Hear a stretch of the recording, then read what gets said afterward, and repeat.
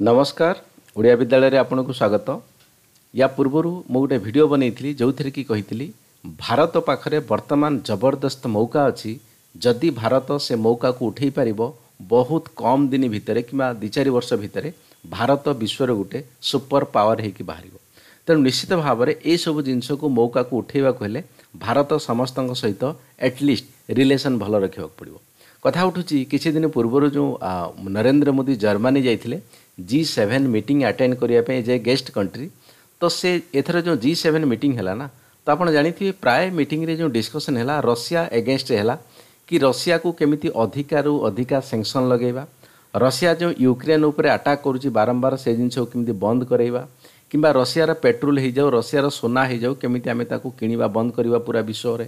ତେଣୁ ଏସବୁ ଯେତେବେଳେ ଡିସ୍କସନ୍ ଚାଲୁଥିଲା କେଉଁଠି ନା କେଉଁଠି ଭାରତ ସେ ମିଟିଂରେ ଉପସ୍ଥିତ ଥିଲା।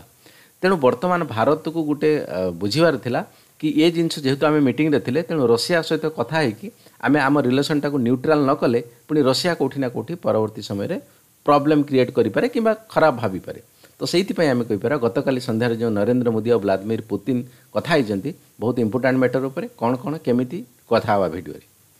ଦେଖିପାରୁଥିବେ ଟାଇମ୍ସ ଅଫ୍ ଇଣ୍ଡିଆର article Vladimir Putin PM Modi discuss Ukraine food and oil prices on the call phone call ମୁଖ୍ୟତଃ ତିନିଟା କଥା ଉପରେ ଇଏ ମାନେ ଦୁଇ ଜଣ ଚର୍ଚ୍ଚା କରିଛନ୍ତି ପ୍ରଥମେ ତ ୟୁକ୍ରେନ୍ କ୍ରାଇସିସ୍ ସେକେଣ୍ଡ ତ ଫୁଡ୍ କଥା ଉପରେ ଥାର୍ଡ଼ ଏନର୍ଜି ଉପରେ ଯଦି ୟୁକ୍ରେନ୍ କଥା କହିବି ନିଶ୍ଚିତ ଭାବରେ ପୂର୍ବରୁ ଭାରତ ଯାହା ବି ପଚାରୁଥିଲା ତାମାନେ ନୁହେଁ ଯେ ଆଜି ଫାର୍ଷ୍ଟ ଟାଇମ୍ ୟୁକ୍ରେନ୍ ଯୁଦ୍ଧ ପରେ ରଷିଆକୁ କଲ୍ କରିକି ମୋଦି ପଚାରୁଛନ୍ତି କି କ'ଣ ହେଇଛି କ'ଣ ନାହିଁ। ଏହା ପୂର୍ବରୁ ଚାରି ପାଞ୍ଚ ଥର ଅଲରେଡ଼ି ଭେଟିକି କଥା ହେଇଛନ୍ତି ପ୍ଲସ୍ ଭ୍ଲାଦିମିର ପୁତିନ ବି ଭାରତ ଆସିଥିଲେ ପ୍ଲସ୍ ମୋଦି ବି କଥା ହେଇଛନ୍ତି ପର୍ଟିକୁଲାରଲି ତ ୟା ପରେ ଆମେ କହିପାରିବା ରଷିଆ ଏଗେନ୍ ସେମ୍ କଥା କହିଛି। କି ଆମେ ଗୋଟେ ମିଲିଟାରୀ ଅପରେସନ୍ କରୁଛୁ କାରଣ କ'ଣ ନା ୟୁକ୍ରେନ୍ ଆକ୍ଚୁଆଲି ରଷିଆ ଭିତରେ ଯେଉଁ ରିଲେସନ୍ ଅଛି ସେଇ ଜିନିଷ ଡିପ୍ଲୋମାଟିକ୍ ୱେରେ ପଲିଟିକାଲ୍ ୱେରେ ସଲ୍ଭ ହୋଇପାରନ୍ତା ବଟ୍ ଯେହେତୁ ଆମେରିକା ଆଉ ୱେଷ୍ଟର୍ଣ୍ଣ କଣ୍ଟ୍ରି ସେଇଥିରେ ଇନଭଲ୍ଭ ହେଉଛନ୍ତି ତ ଆମର ରିଲେସନ୍ ବିଗାଡ଼ୁଛି ସେଇଥିପାଇଁ ଆମେ ମିଲିଟାରୀ ଅପରେସନ୍ କରୁଛୁ ତେଣୁ କଥା ଉଠୁଛି ନିଶ୍ଚିତ ଭାବରେ ୟା ପରେ କଥା ହେଇଥିବେ କି ଆକ୍ଚୁଆଲି ରିସେଣ୍ଟଲି ଯେଉଁ ରଷିଆ ପୁଣି ଗୋଟେ ମଲ୍କୁ ଆଟାକ୍ କରିଥିଲା ଯେଉଁଥିରେ କି ସାଧାରଣ ନାଗରିକ ମୃତ୍ୟୁବରଣ କଲେ ବଟ୍ ଏ କଥା ଆସିନାହିଁ।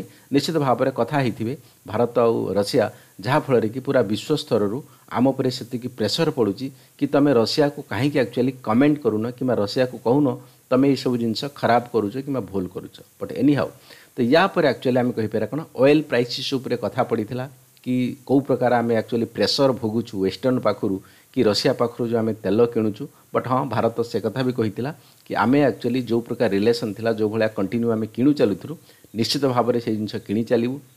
ବଟ୍ ହଁ ଗୋଲ୍ଡ ଇମ୍ପୋର୍ଟ ଉପରେ କିଛିଟା ଇମ୍ପାକ୍ଟ ଆସିବ।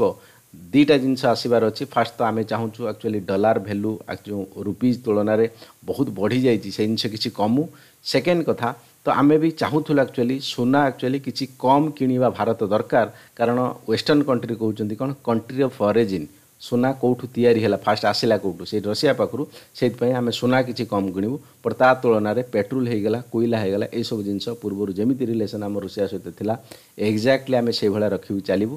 ଆମେ ଯେତେ ଜି ସେଭେନ୍ ଜି ଟ୍ୱେଣ୍ଟି କିମ୍ବା ବ୍ରିକ୍ସ ସହିତ ମିଶିଲେ ବି ଯେଉଁ ପ୍ରକାର relation Bharat actually democratic way ହିସାବରେ ମିଶି ଚାଲିଛି ଆମର ଆକ୍ଚୁଆଲି ଇଣ୍ଟେନସନ୍ ଗୋଟେ ଆମେ ଯାଉଛୁ ଅଲଗା ଦେଶ ସହିତ କିମ୍ବା ଜି ସେଭେନ୍ରେ ମିଶୁଛୁ ବଟ୍ ତା ମାନେ ନୁହେଁ ଯେ ରଷିଆ ଏଗେନଷ୍ଟରେ କିଛି ବିଚାର ବିମର୍ଶ କରିକି ଆମେ ଫେରୁଛୁ।